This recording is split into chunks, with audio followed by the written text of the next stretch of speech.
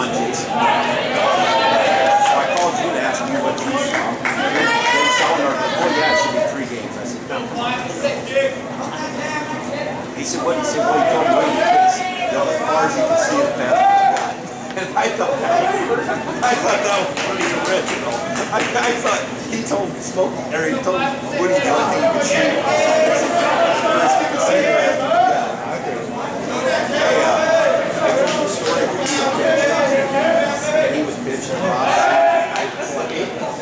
crossed up and threw a fastball to